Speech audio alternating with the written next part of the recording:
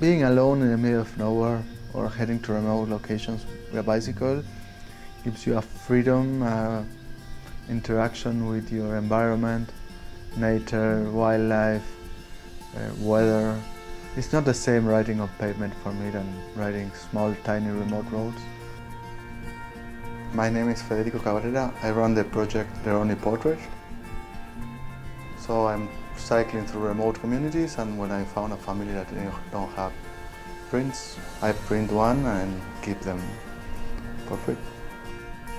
In some of the trips I also donate water filters and solar lights to those who need them the most.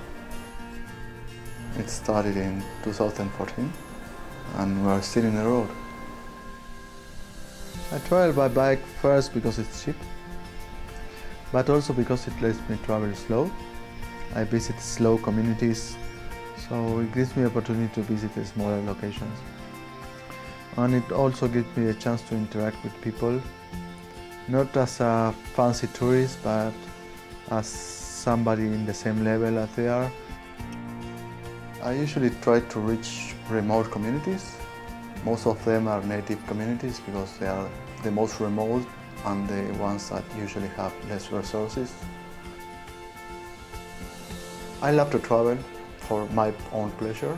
And I thought that while I was there, I could do a small difference, like a small tangible change. I know I'm not changing the world, but for the families I reach, it's a big difference.